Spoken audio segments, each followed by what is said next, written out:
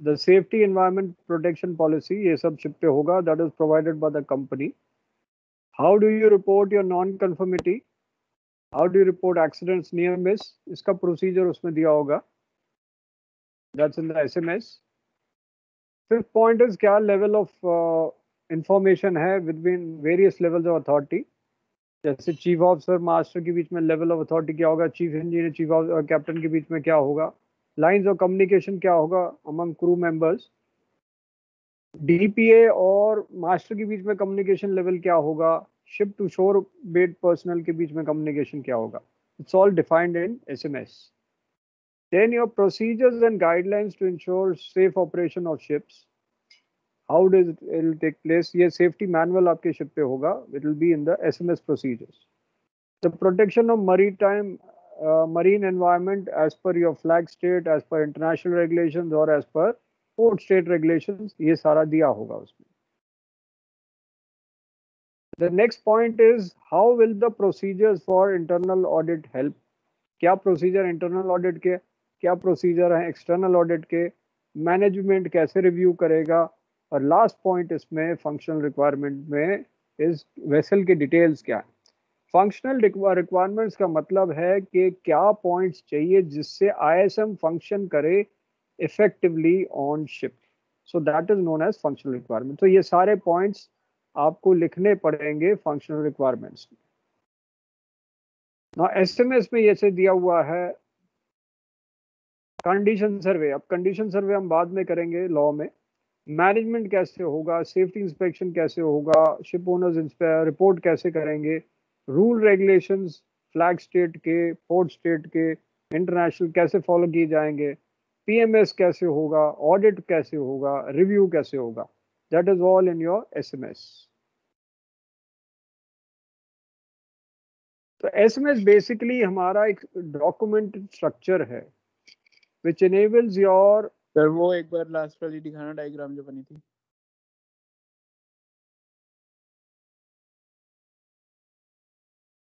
Okay, sir. Thank you. So it is the code which enables your shipping company and crew to follow safety policies. क्योंकि अगर safety policy नहीं है सब गड़बड़ करेंगे so safety policy होगी safety culture होगा तो ship crew environment सब ठीक रहेगा so that is your safety management system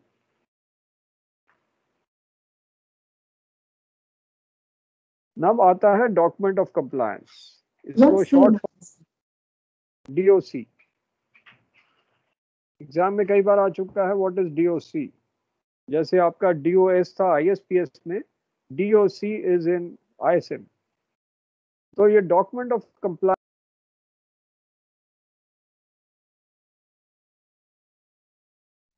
given to the shipping company and not the ship. Sir slide चली गई है। स्लाइड कैसे चलेगी? स्लाइड तो है। हमारा नेट चला गया है। स्लाइड तो है वहीं। नहीं सर अब आप अब सही है सर बीच में हुआ था। तो डॉक्यूमेंट ऑफ़ कंप्लायंस सबसे इंपॉर्टेंट डॉक्यूमेंट है शिपिंग कंपनी का which can be check by the port state control अब ये हर एक शिप टाइप के लिए दिया जाता है। एग्ज़ाम्पल एक आपकी एक कंपनी है, उसका ऑफ़िस हांगकांग में है, टैंकर डिवीज़न। तो शिप टाइप हो गया टैंकर।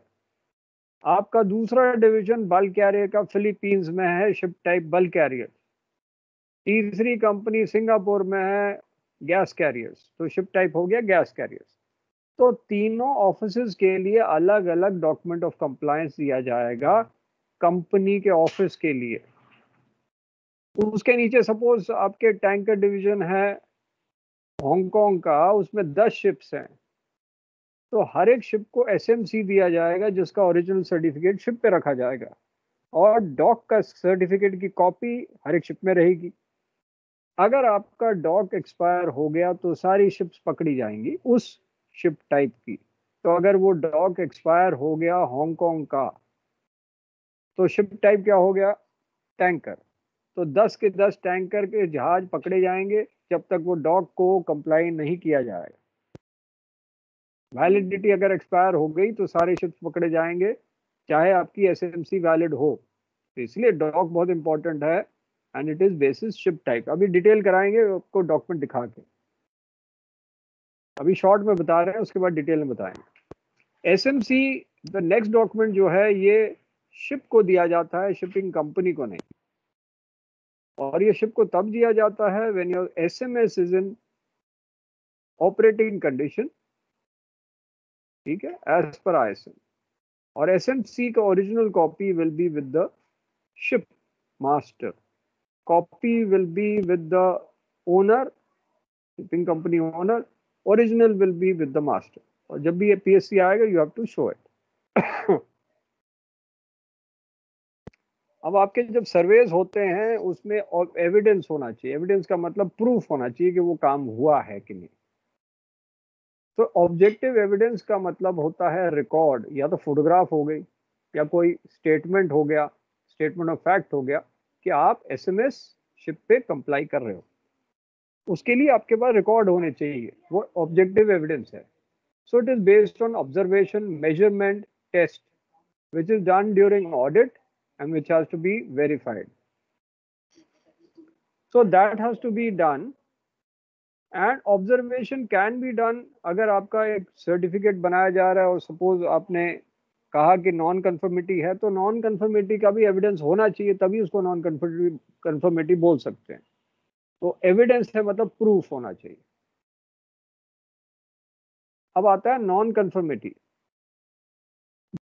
आपके पास एक ऑब्जेक्टिव एविडेंस है, इसका मतलब फोटोग्राफ है, या कोई डॉक्यूमेंट है कि आप एसएमएस को फॉलो नहीं कर रहे हो शिप पे तो वो एक नॉन कन्फर्मिटी हो जाता।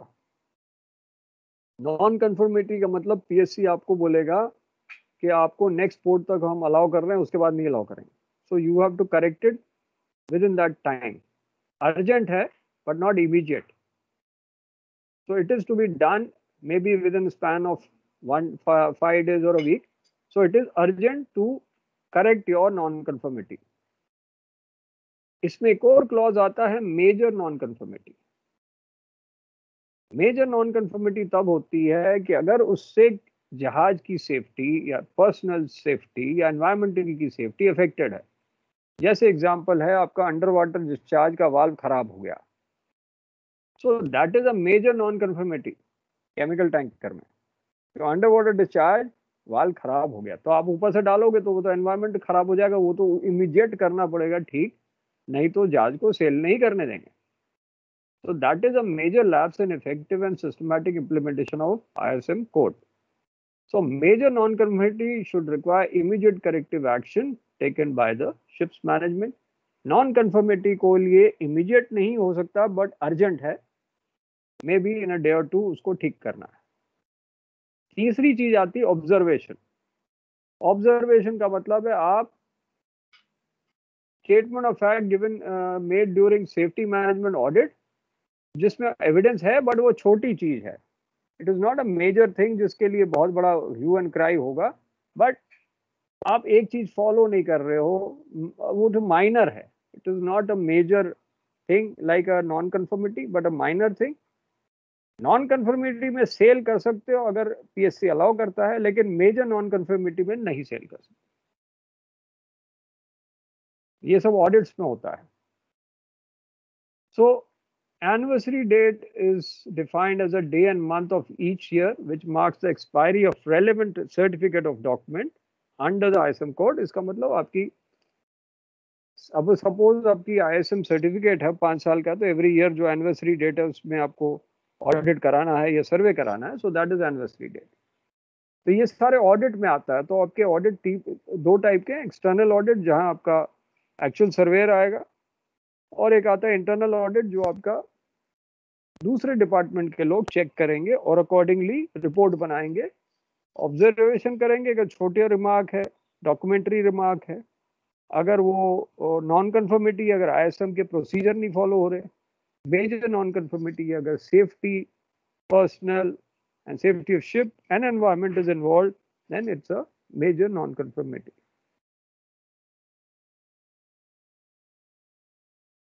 अब आता है डीपीए तो डीपीए जो बंदा है वो सुप्रिटेंडेंट है या नहीं है वो उसकी कोई गारंटी नहीं है कि वही सुप्रिटेंडेंट भी रहेगा वो ये सी भी रहेगा या वो डीपीए भी रहेगा ऐसा नहीं है हो सकता है डीपीए कोई और हो कंपनी सिक्योरिटी ऑफिसर कोई और हो और सुप्रिटेंडेंट कोई और हो। सुप्रिटेंडेंट काम है टेक्निकल काम करवाना। डीपीए का काम वो नहीं है। डीपीए का काम है कि वो S M S and safety procedure company के इम्प्लीमेंट करवाना और उसका टॉप मैनेजमेंट के साथ डायरेक्ट कनेक्शन है। उसको टाइम ये नहीं कि वो जीएम के पास जाएगा और पूछेगा, वो डायरेक्टली ओनर से पूछ सकता है। And he will implement your S M S on board And he will be concern with all the safety issues on board So he is a key person who's required to be effective implementation of company's SMS and is shore based and he'll design your safety culture. He'll be responsible for verifying your safety and pollution prevention activities of each ship हो सकता है एक ही ship का DPA हो हो सकता है पांच छह जहाज का एक डीपीए बनाया हो अब आता है what is the role of a DPA role का मतलब रिस्पॉन्सिबिलिटी एंड रोल क्या है so he is a link between the company ashore and that ship on matters concerning your SMS. Second is, he is an independent individual. इसका मतलब नहीं है कि वो जीएम या वाइस प्रेसिडेंट को रिपोर्ट करेगा but he will go directly to the highest level of management because उसका रोल अलग है तीसरा वो एसएमएस को चेक करेगा कि वो जहाज़ पे बराबर फ़ंक्शन कर रहा है कि नहीं। तो यहाँ उसका है responsible authority resource and support provide करेगा शिप को and access to highest management level that is the role of the DPA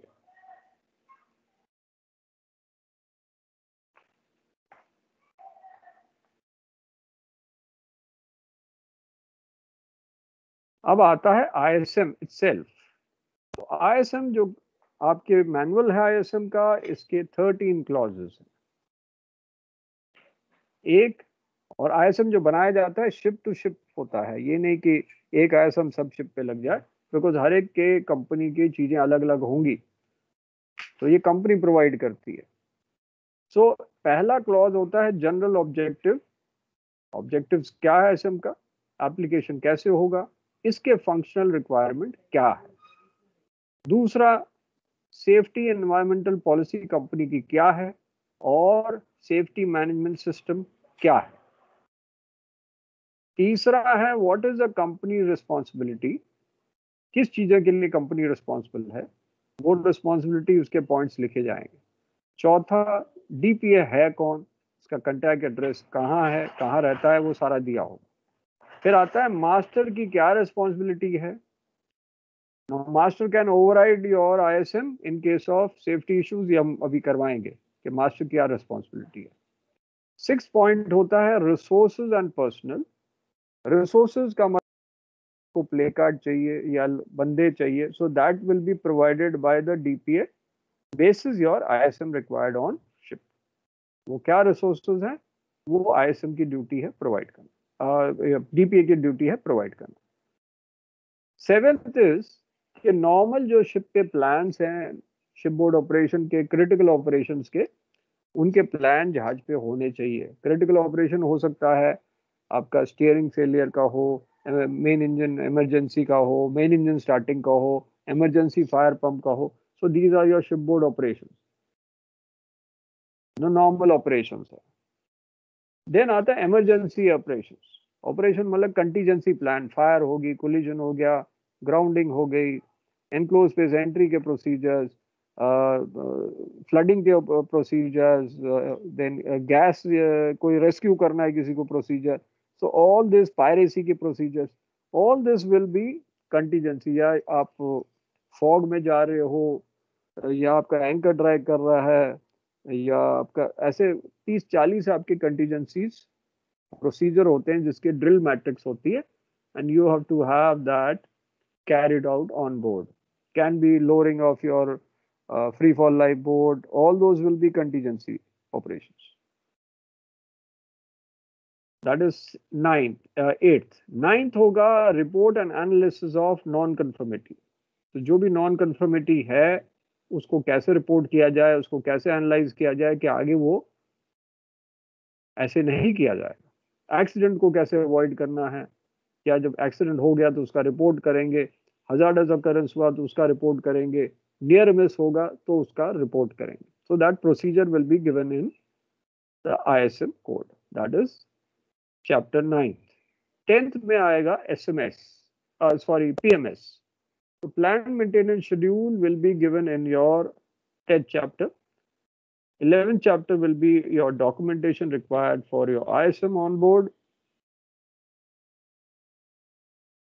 12th chapter will be how will the co company verify and review and evaluate your ISM.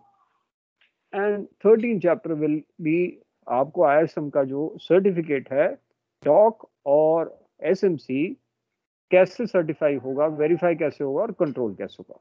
Dock तो company को मिलेगा SMC ship को मिलेगा। अब आता है what are the objectives of SMS sir हर हाँ जी। सर एसएमसी इशू करने के लिए पीएमएस भी चेक होता है? एसएमसी इशू करने के लिए जो सेफ्टी मैनेजमेंट इशू में पीएमएस भी चेक हाँ सारी चीज़ें चेक होंगी।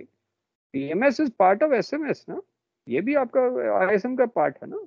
इसको भी चेक करेंगे। ये भी आपके प्रोसीजर्स है कि प्रोसीजर नॉट कि आपने पीएमएस किया कि नहीं किया, उसके प्रोसीजर होने चाहिए इन द एसएमएस पीएमएस के प्रोसीजर्स भी एसएमएस में होंगे। क्योंकि वो part of I okay sir अब आता है objectives of SMS safe working practices and safe working environment that is safety committee meeting और वो सारी कुछ इसमें होगा। नंबर टू रिस्क असेसमेंट कैसे होगा जहाज़ में रिस्क एनालिसिस कैसे होगा सो so दैट आपके रिस्क कम हो। तीसरा सेफ्टी मैनेजमेंट स्किल्स शिप पे और शोर पे ट्रेनिंग कैसे होगी ये सारे उसके ऑब्जेक्टिव्स हैं। तो सेफ्टी वर्किंग प्रैक्टिस में पीएमएस भी आ जाएगी, क्योंकि अगर अगर आपका सारा कोरोडेड चीज़ है तो सेफ़ वर्किंग प्रैक्टिस तो है नहीं ना। तो एनवायरमेंट आपका सेफ़ नहीं है तो पीएमएस भी इसमें आएगा। अब मास्टर की क्या ड्यूटी है? मास्टर की ड्यूटी इन आईएसएम इज़ कि वो सेफ्टी एनवायरमेंटल प्रोटेक्शन पॉलिसी को कंप्लाई करेगा। कंपनी बताएगी, ये ये करना तो आप वो मास्टर अपना बताएगा, ऐसे से फॉलो करोगे। क्रू को मोटिवेट करेगा सो दैट क्रू आईएसएम को फॉलो करे भाई, ये नहीं कि वो भी चप्पल में घूमे। He should give an example of that कि वो भी सेफ्टी शू और हेलमेट में डेक पे जाए ये नहीं कि वो चप्पल में घूमे बाकियों को बोलो कि तुम शू पहनो और हेलमेट पहनो। So he should be a leader who should be giving an example not that वो अपना ऑर्डर दे और बाकी करे नहीं कुछ। थर्ड उसके order should be very clear simple होने चाहिए कॉम्प्लिकेटेड नहीं होने चाहिए। चौथा, जो आपके रिक्वायरमेंट है आईएसएम के, वो चेक करेगा कि वो हो रहा है कि नहीं वेरीफाई करेगा। पांचवा, अगर एसएमएस में कोई कमियाँ हैं डेफिशिएंसी हैं तो उसको रिव्यू करेगा और डीपीए को बताएगा कि ये ये इम्प्रूवमेंट करनी है तो फिर वो इम्प्रूव करके वापस कंपनी को ये शिप को देगा कि इसको इम्प्लीमेंट करो। लेकिन मास्टर कैन ओवरराइड डीपीए ये क्लॉज उसमें है। Master can override STCW clauses also, which are your uh, your uh, अभी उस पर एस पे आएँगे हम वर्क रेस्टार जो है उसको ओवरराइड कर सकता है in certain cases similarly master can override your DPA and SMS but वो कब कर सकता है जब वो he finds that his decisions are interfering with the safety and pollution prevention policies और जब वो देखेगा कि उसकी जो कंपनी की सेफ्टी पॉलिसी के कारण शिप को डेंजर हो सकता है then he can override the SMS अगर हो सकता है एसएमएस आउटडेटेड है, उसको ठीक नहीं किया डीपीए ने और उसके कारण शिप सेफ़ नहीं है then he can override SMS company को बताएगा कि आई एम ओवरराइडिंग एसएमएस तो company will provide assistance if necessary अब आता है डॉक्यूमेंट ऑफ़ कंप्लायंस ये पहले आपको डॉक्यूमेंट दिखा दे so that you will understand कि क्या है।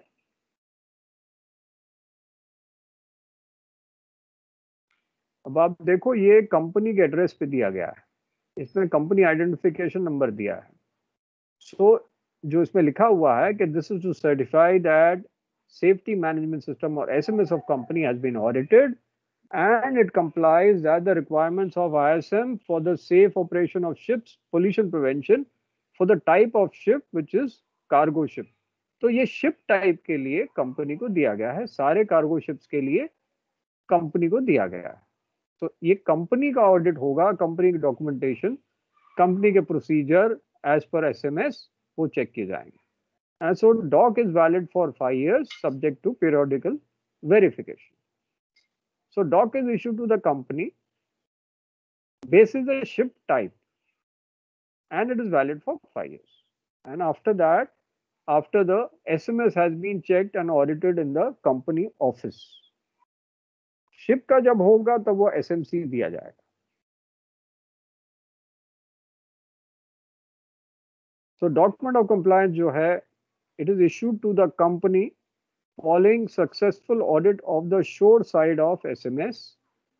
इसमें एक एविडेंस होना चाहिए कि system has been operation for at least that one type of ship और one ship type for three months example बताऊँ। सपोज़ एक कंपनी में टैंकर डिवीज़न है। अब वो बल्क कैरियर डिवीज़न शुरू करना चाहता है। तो टैंकर तो उसके पास ऑलरेडी है, वो साल से है। बल्क कैरियर शुरू करना चाहता है। अब बल्क कैरियर शुरू करने के लिए वो डिवीज़न के लिए उसको डॉक चाहिए और एसएमसी चाहिए उस जहाज़ के लिए। एक जहाज़ खरीद रहा है। तो उस जहाज़ के लिए वो एसएमसी इंट्रीम करवाएगा। एक्चुअल तो बाद में कराया क्योंकि उसके पास टाइम है छः महीने का उसको नया बनवाने के लिए। तो इंट्रिम उसने एसएमसी ले लिया और इंट्रिम डॉक ले लिया। इंट्रिम डॉक के लिए बारह महीने मिल जाते हैं। तो इंटरम डॉक ले लिया। अब उसके बाद उसने अपने सारे डॉक्यूमेंटेशन कर ले, कर लिए। तब तक उसके बाद टैंकर डिवीज़न है। उसने तीन महीने तक इसको ऑपरेट किया। उसके बाद देख लिया कि भाई हाँ भाई, अब आप ओरिजिनल के लिए अप्लाई कर सकते हैं यू कैन गेट इट तो there you are operating for minimum three months on S M S and आप अप्लाई कर सकते हो for the original DOC after you have the full documentation done that you are going as per the company's SMS procedure. तो ये जो DOC है it is specific to the ship at the time of audit ship type जैसे tanker का है तो ship type tanker है, उसके लिए है। वो कंपनी के लिए दिया जाएगा। सो वैलिडिटी इसका पाँच साल है। Every year it be verified and it should be within plus minus three months of the anniversary date. It is issued by the flag state or it will be withdrawn agar non conformity hai sms mein ism mein so flag state can withdraw the doc agar non conformity is found with the ism code major non conformity not small non conformity but major non conformity ho or jahaz ya company is not correcting it और अगर वो withdraw हो गया तो सारे SMC सभी जहाज़ के उस शिप टाइप के विड्रॉ हो जाएँगे इंक्लूडिंग इंट्रिम एस ये सारे विड्रॉ हो जाएँगे। So copy of DOC should be placed on board ship original will be with the company तो ये तो रहा डॉक का।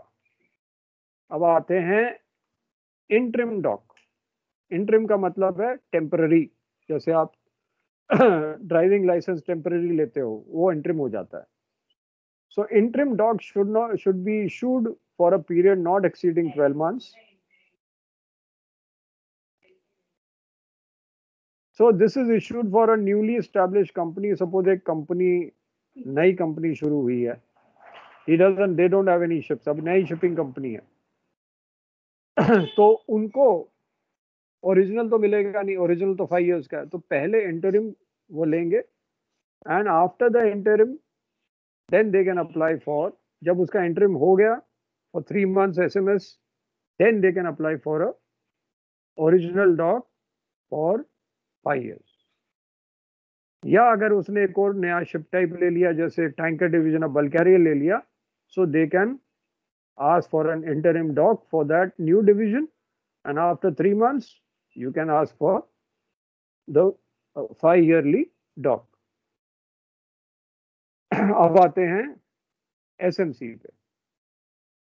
तो डॉक कंपनी में रहेगा, ओरिजिनल कॉपी रहेगी शिप पे। तो now it is your S M C safety management certificate for that ship. So it it is issued under I S M code and the details of ship is given your distinctive numbers port of registry type of ship gross tonnage imo number फिर company का नाम आएगा company address company identification number आप जो certification के जो notes हैं वो लिखेंगे कि S M S of ship has been audited उसमें था company S M S of ship has been audited and it complies with the requirements of ISM code following the verification of doc which should be valid for the company to be applicable for this kind of ship and this is for five years तो इसको भी पांच साल के लिए दिया जाता है it is only given once your doc is valid and it is given to the ship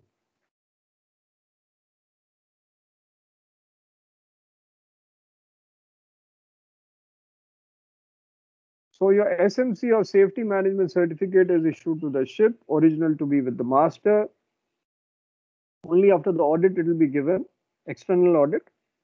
So there's an evidence that SMS has been operation in three months before audit. That was also in doc.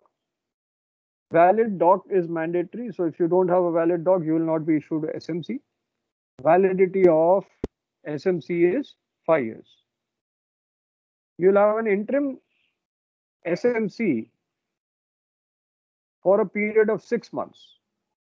But you can extend it for six months on application to flag state. And it will be issued if you having new ships for delivery, that is you are purchasing a new ship. So you'll apply for interim SMC. And after the three months of SMS in operation, you can go for actual SMC, which is valid for five years. But then your doc should be valid at that time.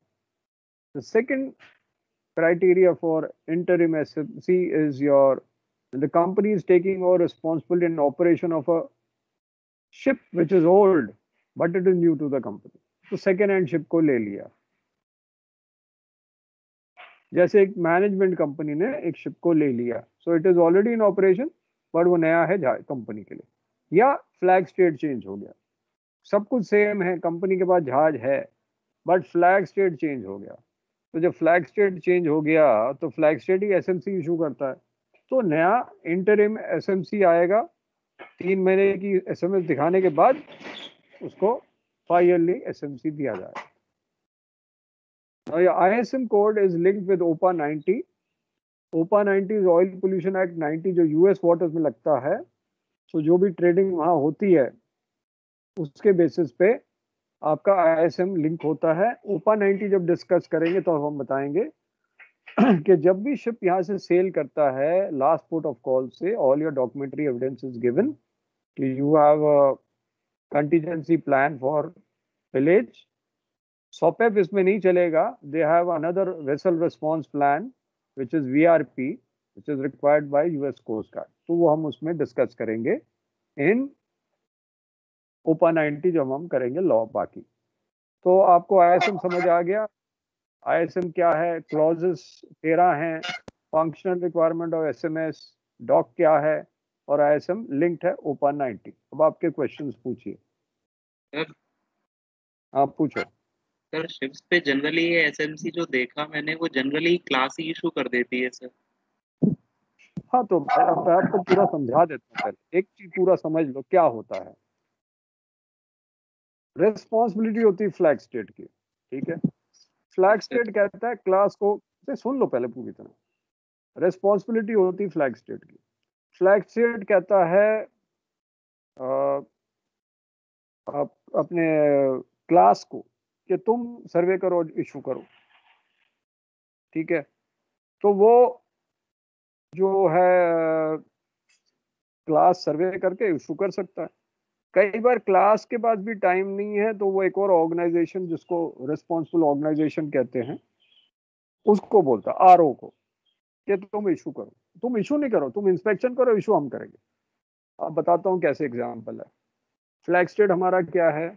India में SCI का government of India अब उसके बाद तो time नहीं check करने का। तो उसने कह दिया, भाई आईआरएस को, कि तुम चेक करो। अब इंडियन फ्लैगशिप आई आर के अंडर में आता है ना। Indian register of shipping class तो वही है ना उसका।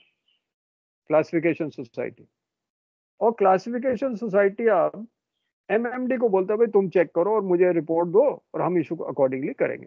तो उसने एमएमडी को रिपोर्ट दिया। एमएमडी के लोग आए। एमएमडी इज़ आर उसने रिकॉग्नाइज ऑर्गेनाइजेशन है, वो चेक किया और उसकी फाइंडिंग्स क्लास को दी और क्लास ने इशू किया अकॉर्डिंगली तो MMD is not issuing certificate वो तो रिकॉग्नाइज ऑर्गेनाइजेशन है। Class is going to issue that certificate और फ्लैक्स ठीक है? अब समझ आ गया? Have you understood yes sir sir फिर गवर्नमेंट ऑफ़ इंडिया कोई उसका एंडोर्समेंट वगैरह टाइप करेगा कुछ क्या? नहीं क्लास कर लेगा वो इनफ है यार। क्लास कर दिया दैट्स गुड ना गवर्नमेंट ऑफ़ इंडिया करे नहीं करे उसमें कोई फ़र्क नहीं पड़ता। उसने ऑथराइज कर दिया क्लास को करने के लिए तो अलग से गवर्नमेंट ऑफ़ इंडिया क्यों करेगा?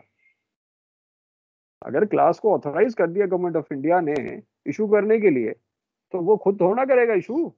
तो क्लास ही करेगा ना? नहीं सर मैं एंडोर्समेंट की बात कर रहा था। कुछ ऐसा एंडोर्समेंट टाइप कुछ और होता होगा क्या? नहीं नहीं। सर्वे किया क्लास ने स्टैम्प मार दिया बात खत्म एंडोर्स हो गया। ओके सर ठीक है। और कोई क्वेश्चन नहीं है तो चलो फिर हम जाते हैं उस पर एमएलसी पे। एमएलसी पे अब चलते हैं।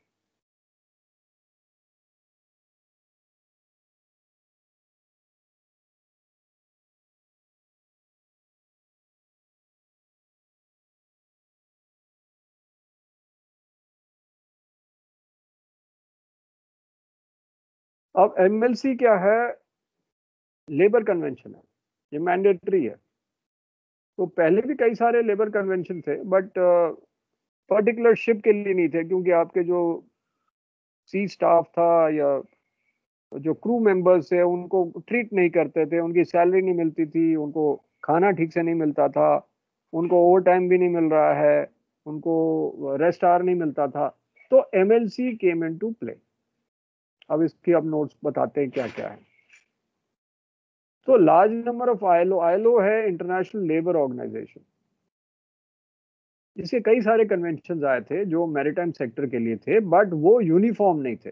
कई बार वो डुप्लीकेट थे और कई बार वो चेकिंग नहीं होती थी। वो कह देते थे फ्लैग स्टेट को तुम चेक करो। और फ्लैग स्टेट तो वही मस्ती करता था पनामा वाला है, वो पीएससी को चेकिंग तो होती नहीं थी। तो फ्लैग स्टेट बोल देता फ्लैग स्टेट कहता ठीक है भाई।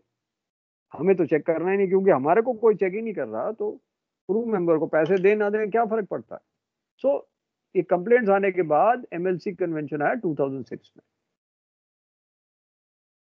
सो so, कन्वेंशन आया अडॉप्टेड इन 2006 बट ये 2013 में आया। अब एक और चीज़ बताएँ कि कन्वेंशन अगर अडॉप्ट किया गया वो फोर्स में इतने साल क्यों लगे भाई उसको आने में? कोई इसी को आइडिया है। भाई अगर वो 2006 में अडॉप्ट तो कर लिया। I M I M International Maritime Organization ने अडॉप्ट किया ना आईएलओ का कन्वेंशन है। आई एम आई एम इसको अडॉप्ट किया 2006 में। लेकिन वो फोर्स में 2013 में क्यों आया? तो लोगों ने साइन नहीं करा हाँ रेटिफाई इसको कहते हैं इसको कहते हैं रेटिफिकेशन क्योंकि जो मेंबर्स हैं टोटल नंबर मेंबर्स के 35 परसेंट से ज़्यादा जब साइन करेंगे, उसके बाद ही कन्वेंशन आता है। बैलास्ट वाटर कन्वेंशन 2004 में था 2017 में जाके आया, तेरह साल लग गए उसको आने में। क्यों? क्योंकि साइन ही नहीं कर रहे थे लोग, कह रहे हमको नुकसान होगा, ये होगा, वो होगा। तो जब तक थर्टी फाइव परसेंट लोग साइन नहीं करेंगे स्टेट्स तब तक वो आएगा ही नहीं। तो इंडिया ने 2014 तक नहीं किया था, अब उसने भी साइन कर दिया है। पहले इंडिया ने भी साइन नहीं किया था, क्योंकि वो कह रहे थे, नहीं, हमको ये करना पड़ेगा, वो करना पड़ेगा। तो उन्होंने भी साइन नहीं किया, लेकिन बाद में साइन किया। So how is the convention beneficial to government seafarers and ship owners अभी आप बताते हैं क्या क्या है। ये डायग्राम से आपको समझाएँगे। तो इसमें मिनिमम रिक्वायरमेंट ऑफ़ सी क्योंकि ये बेसिकली आपका हक है। एमएलसी 2006 आपका हक है। ठीक है, आपके आपके जो राइट्स क्या हैं, उसमें एमएलसी में दिए ड्यूटी तो दिए हैं। पहले लोगों के कोई राइट नहीं दिए जाते थे ड्यूटी होती थी राइट्स नहीं होते थे। एमएलसी से आपके राइट्स आ गए, जिसमें आपके minimum requirements of seafarer to work on ship including master and crew member सब इसमें कवर्ड है। कंडीशन ऑफ़ एम्प्लॉयमेंट क्या है? जो आपका कंट्रैक्ट है, वो कंडीशन ऑफ़ एम्प्लॉयमेंट है। आपको दिखाया जाता है। आपके पास कॉपी होनी चाहिए। आपका अकोमोडेशन कैसा होगा? रिक्रिएशनल फैसिलिटीज़ कैसी होंगी? खाना कैसा होगा? केटरिंग कैसी होगी? वो स्पेसिफाई किया जाता। पहले नहीं स्पेसिफाई था। आपका हेल्थ प्रोटेक्शन कैसे होगा? मेडिकल वेलफेयर सोशल सिक्योरिटी कैसे होगी? वो भी स्पेसिफाई किया जाएगा। और इसकी कंप्लायंस पीएससी करेगा। कंप्लायंस बेसिकली फ्लैग स्टेट करेगा एनफोर्समेंट करेगा पीएससी पहले कंप्लायंस करता था फ्लैग स्टेट बट एनफोर्समेंट कोई नहीं करता था, इसलिए चलता था। पहले चलता वो एटीट्यूड था, अब नहीं है। क्योंकि गवर्नमेंट कंप्लायंस करती है और पुलिस उसको एनफोर्स करती है। अगर पुलिस ही नहीं होगी तो उसका कंप्लायंस का कोई फ़ायदा नहीं। आपने लॉ बना दिया और उसको एनफोर्स ही नहीं किया तो उसका तो कोई फ़ायदा नहीं है ना। तो enforcement is PSC compliance is flag state अब इसके चार लेयर हैं। तो चार लेयर्स इसके हैं कन्वेंशन के articles regulation code A and code B part B code A जो mandatory code part A mandatory है बी जो है वो गाइडेंस के लिए। चार लेयर हैं article regulation code A code part A and code part B so article and regulations ये आपके प्रिंसिपल सर एक बार लास्ट स्लाइड दिखा दीजिए प्लीज़ इसकी बात कर रहा डायग्राम की? ये वाली। नहीं, नहीं सर डायग्राम नहीं दूसरी। ये वाली हाँ एक सेकंड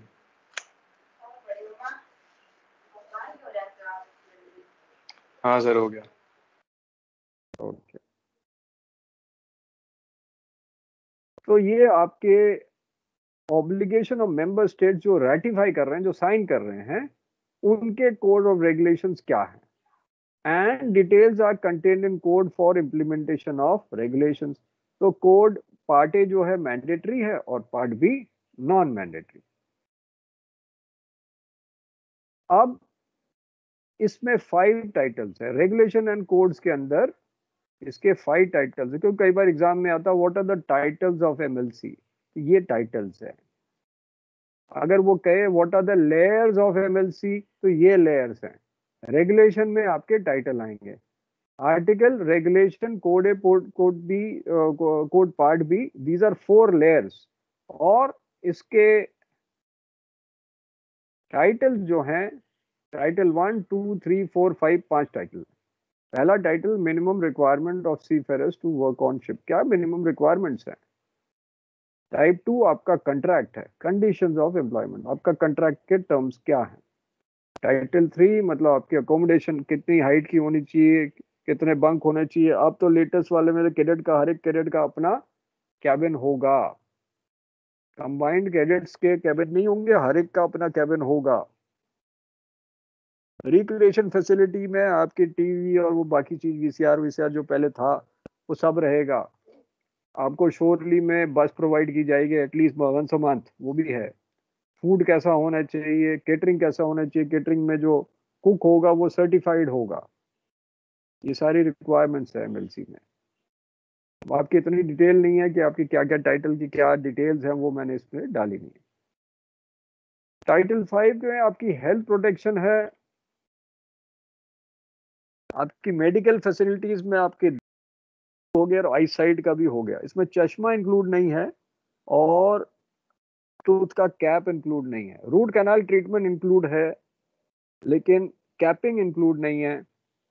आई साइड की टेस्ट और वो सब इंक्लूडेड है बट चश्मा इंक्लूडेड नहीं। ये सब है। हेल्थ प्रोटेक्शन ये पहले नहीं था। फिर आता है टाइटल फाइव या कंप्लायंस एंड एनफोर्समेंट कंप्लायंस आपका फ्लैग स्टेट करेगा एनफोर्समेंट आपका पीएससी करेगा। तो ये पाँच उसके टाइटल है। अब फ्लैग स्टेट की क्या रिस्पॉन्सिबिलिटी है?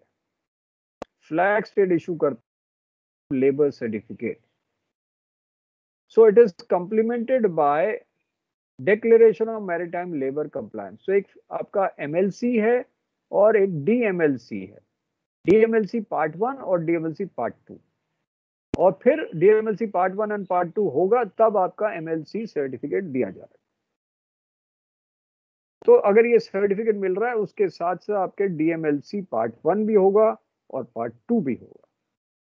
मैं बताऊँगा what are DMLC part one and part two so declaration of maritime labour compliance बड़ा इंपॉर्टेंट डॉक्यूमेंट है।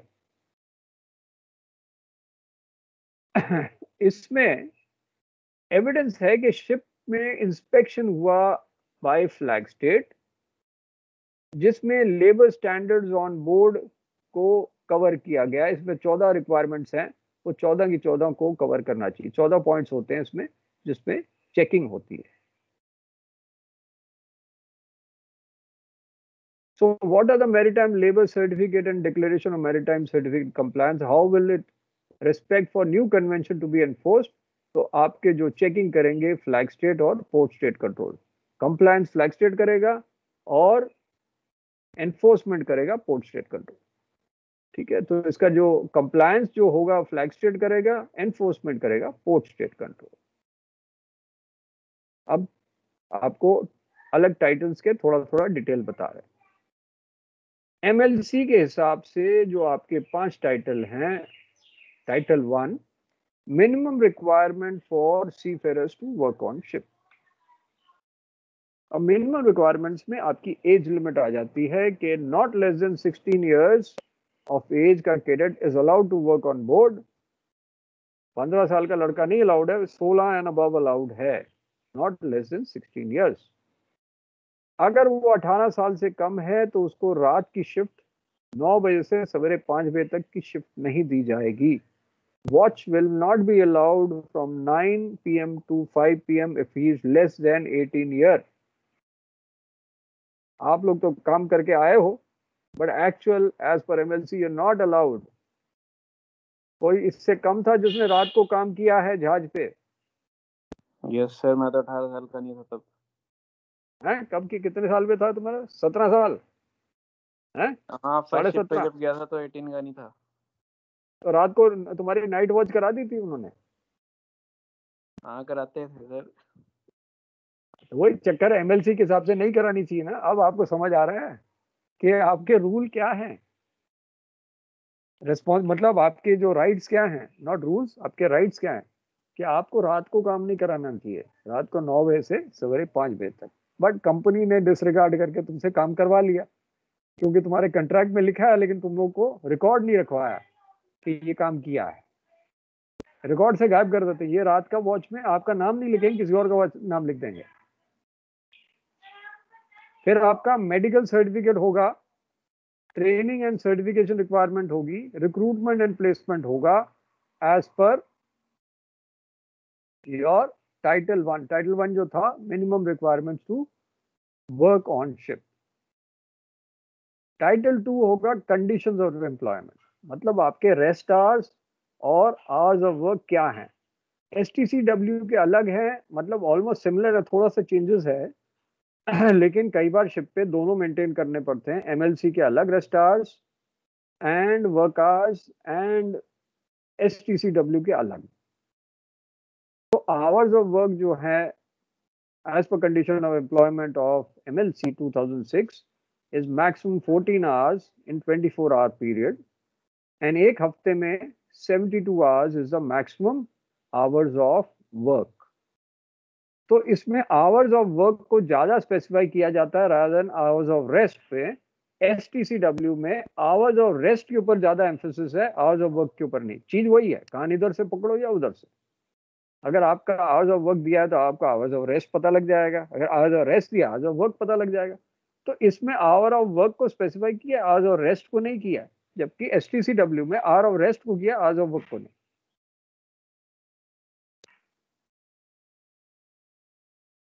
तो जो आवर ऑफ़ रेस्ट है, उसको उन्होंने कम एम्फोसिस दिया है बट आवर ऑफ़ वर्क को थोड़ा ज़्यादा एम्फोसिस दिया है fourteen hours and twenty four hour period seventy two hour and seventy period hour of rest को इन्होंने दिया है ten hours in twenty four hour period and seventy seven hours in seven day period उसके बाद आपकी leave के लिए आपको क्या इंटाइटलमेंट मिलेगी? लीव के टाइम में आपको क्या क्या पैसा मिलेगा? वो उसमें दिया होगा। आपके वेजेस क्या क्या होंगे? रिपैट्रिएशन मतलब आपको छुट्टी पे जाना है या साइन ऑफ़ करना है तो आपको घर तक आपको खर्चा देंगे। उसको रिपैट्रिएशन कहते हैं। फिर सीफेरर को कंपनसेशन मिलेगा। अगर शिप्स लॉस हुआ या शिप डूब गया तो सीफेरर को कंपनसेशन मिलेगा जो स्पेसिफाई करेगा in this condition of employment फिर मैनिंग लेवल्स क्या क्या हैं जहाज़ के? वो भी स्पेसिफाई होगा कंडीशंस ऑफ़ एम्प्लॉयमेंट या कंट्रैक्ट फिर आपकी opportunities in for seafarer employment भी उसमें दिया जाएगा और स्किल एंड कैरियर डेवलपमेंट भी उसमें दिया जाएगा।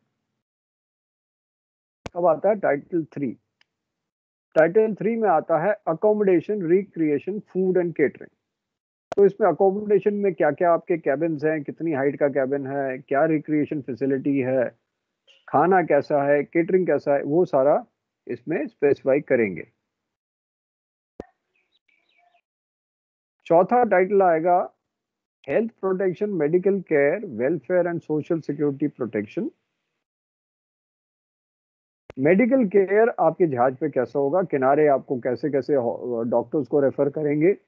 शिप ओनर की क्या लाइबिलिटी है क्लेम्स के लिए हेल्थ एंड सेफ्टी प्रोटेक्शन में क्या क्या करेगी कंपनी एक्सीडेंट प्रिवेंशन कैसे करेगी शोर बेस्ड वेलफेयर फैसिलिटीज़ को कैसे प्रोवाइड करेगी सोशल सिक्योरिटी कैसे करेगी। सोशल सिक्योरिटी का मतलब है, अगर किसी को चोट लग गई तो उसको क्या क्लेम मिलेंगे, वो सोशल सिक्योरिटी में आ जाते है। इंश्योरेंस क्या है, वो सारा सोशल सिक्योरिटी में आ जाएगा। पांचवा आता है कंप्लायंस एंड एनफोर्समेंट तो फ्लैग स्टेट की रिस्पॉन्सिबिलिटी है उसको कंप्लाई करना। ऑथराइजेशन ऑफ़ रिकोगनाइज ऑर्गेनाइजेशन जो मैंने आपको बताया था कि फ्लैग स्टेट सर्वे कराता है फ्लाई क्लास से और क्लास रिकोगनाइज ऑर्गेनाइजेशन को ऑथराइज करती है।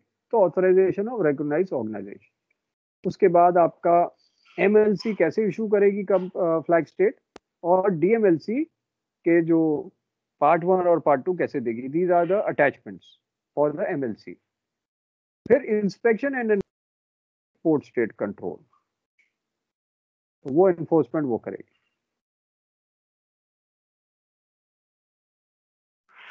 तो ऑन बोर्ड कंप्लायंस के प्रोसीजर्स क्या हैं? पोर्ट स्टेट के कंप्लायंस रिस्पॉन्सिबिलिटी क्या है?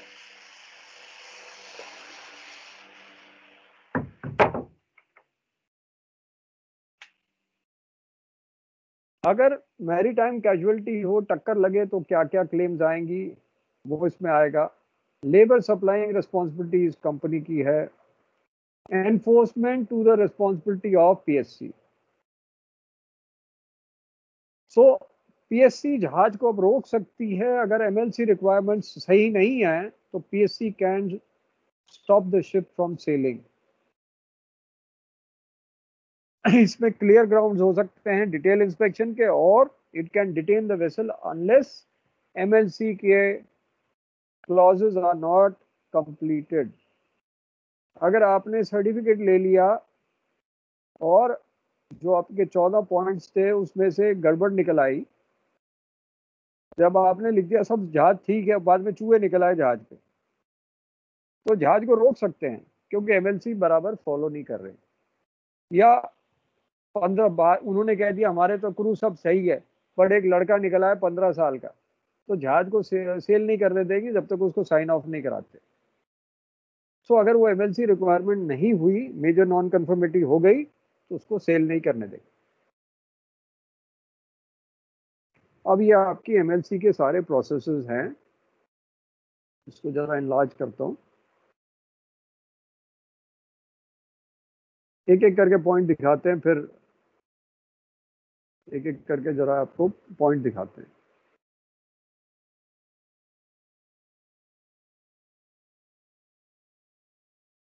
तो पहला था मैनेजमेंट इश्यूज़ जो टाइटल है requirement for seafarer to work on board condition और employment accommodation recreation food and catering health protection medical care welfare social protection and compliance and enforcement तो ये तो आपके टाइटल्स थे। अब ये कैसे कंट्रोल हो रहे हैं लेबर मैनेजमेंट सिस्टम के हिसाब से? तो आपके आई के जो इंटरनेशनल लेबर ऑर्गेनाइजेशन के रिक्वायरमेंट्स कंपनी के रिक्वायरमेंट्स एडमिनिस्ट्रेशन रिक्वायरमेंट्स या उस शिप के रिक्वायरमेंट्स को डाला जाएगा। और उसी के बेसिस में एक डीएमएलसी पार्ट वन ये फ्लैग स्टेट इशू करेगी, जिसमें उस फ्लैग स्टेट के नेशनल उस कंट्री के रिक्वायरमेंट्स है जो होने चाहिए। जैसे एक एस का जहाज़ है। तो फ्लैग स्टेट हो गया गवर्नमेंट ऑफ़ इंडिया तो before giving the maritime labour compliance वो कहेगा कि मेरे जो रिक्वायरमेंट्स है फ्लैग स्टेट के, उसको पहले कंप्लाई किया जाए। तो वो डीएमएलसी पार्ट वन एक डॉक्यूमेंट इशू करेगा जो इंडियन का रिक्वायरमेंट्स के बेसिस पे है। और उसी के बेसिस पे कंपनी एक डिक्लेरेशन देगी कि हाँ हमारे सारे रिक्वायरमेंट्स जो हैं, हमारे सारे रिक्वायरमेंट्स हम कंप्लाई कर रहे हैं। तो this is a declaration by the company and this is the requirement required by the flag state तो डीएमएलसी पार्ट वन जो है that is the requirements of the flag state और ये पार्ट टू जो है, ये बेसिस उस company का डिक्लेरेशन है कि हम इसको कंप्लाई कर रहे हैं। और जब ये कंप्लाई कर रहे हैं तो सर्वेयर भेज के चेक करेंगे कि आपके सारे पॉइंट्स मैच कर रहे हैं कि नहीं। जब मैच कर रहे हैं, उसके बाद आपको मैरिटाइम लेबर कंप्लायंस का सर्टिफिकेट दिया जाएगा। इन दोनों डॉक्यूमेंट्स के बेसिस पे ही दिया जाएगा। अगर नहीं है आपने डिक्लेरेशन नहीं दिया तो फिर आपको सर्टिफिकेट नहीं दिया जाएगा और जहाज़ को होल्ड कर देंगे। तो ये दोनों होने के बाद एडमिनिस्ट्रेशन या रिकॉग्नाइज ऑर्गेनाइजेशन रिव्यू करेगा डीएमएलसी पार्ट टू को against DMLC part one word by word match कर रहा है कि नहीं। और फिर ये ऑडिट होगा शिप का फॉर एमएलसी इशुएंस सिमिलरली आपके physical arrangements recreation facility catering सब चेक किया जाएगा और वो सर्वे होगा, उसके बाद ऑडिट करने के बाद आपका एमएलसी इशू होगा। मैं रिपीट करता हूँ सारी चीज़ें। जब वो जहाज़ पे आएँगे तो सारे टाइटल्स देखेंगे। टाइटल्स के हर एक पॉइंट को चेक किया जाएगा which will form the basis of checking with the DMLC part one और वो डीएमएलसी पार्ट वन जो कंपनी से आया जो फ्लैग स्टेट से आया, उसके बेसिस पे company will issue DMLC part two कि हम इससे कंप्लाई कर रहे हैं और आप आगे हमारा ऑडिट ले लो। तो फिर आरओ आएगा on behalf of flag state to check whether DMLC part two is verifying against DMLC part one और फिर वो एमएलसी इशू होगा। उसमें ये सारी चीज़ें भी चेक की जाएँगी आपके फ़िज़िकल अरेंजमेंट्स आपके रिक्वायरमेंट्स ऑफ़ सी फेरर आपके कंट्रैक्ट्स uh, आपका टाइटल फोर चेक किया जाएगा और टाइटल फाइव चेक किया जाएगा। तो ये सारी चीज़ें करने के बाद आपको सर्टिफिकेट दिया जाएगा। सर फ़ोटो थोड़ी जूम आउट कर देंगे? अभी कर रहे हैं। जूम आउट करते हैं। इतनी ठीक है? इससे ऊपर करेंगे वही इतनी सेट करेंगे तो बाहर निकल आएगा। ये ठीक है अब? नहीं सर ठीक है सर। हाँ तो कर ले फ़ोटो खींच ले। हो गया सर। अब बस आज इतना ही है भाई आज तुम लोग के लिए बहुत हो गया है ना? आज के लिए बहुत है। डीएमएलसी पार्ट टू बड़ा इंपॉर्टेंट है ये। This is a very important topic because ये एग्ज़ाम में आ चुका है कई बार और आप लोग कंफ्यूज रहते हो क्या करना है। DMLC part one and part two देखा है क्या? DMLC part one and part two चलो एक अभी आपको एक मिनट है, तब तक ये मेरी टाइम लेबर सर्टिफिकेट दिखा दें, बाकी बाद में होता रहेगा। तो एमएलसी सर्टिफिकेट ये होता है, जब आपको इशू किया जाता है, आप D part one part two issued with certificate shall have declaration of maritime labor compliance attached तो DMLC part one part two दोनों अटैच होगा, जब ये सर्टिफिकेट दिया जाएगा। Issued provisions of annex article 5 and title 5 title 5 हो गया enforcement and compliance of MLC convention 2006 full designation of state whose flag is flying address and competent authority RO जिसने इसको चेक किया particular of ship address of owner ये सारा आएगा for the ship covered by the tonnage requirements interim scheme adopted by IMO gross tonnage is that वो सारा दिया है तो ये डेफिनेशन देने के बाद आपको ये सर्टिफिकेट दिया जाएगा which is M L C maritime labour certificate ये मैंडेटरी सर्टिफिकेट है। जहाज़ पे रखना है। अगर जहाज़ पे नहीं है तो जहाज़ डिटेन हो जाएगा। मैंडेटरी सर्टिफिकेट है। ओरल में भी पूछा जाता है। रिटर्न में भी आता है। ठीक है? तो आज के लिए इतना है। अब आप लोग आराम करो। लंच वंच खाओ और सेहत बनाओ। ठीक है? सेहत बनाओ भाई अपनी। यस सर हाँ जी सर चलो फिर। ओके देन ओके सर इसलिए हिंदी में समझा रहा हूँ। हिंदी में समझा रहा हूँ ताकि एकदम क्लियर हो जाए। आपके दिमाग में कोई डाउट ही ना रहे। इसलिए मैं हिंदी अनुवाद भी करता जा रहा हूँ। So that it is absolutely clear in your mind कोई डाउट ही नहीं रहेगा आपको। ठीक है? Okay then okay sir thank you bye okay sir thank you bye bye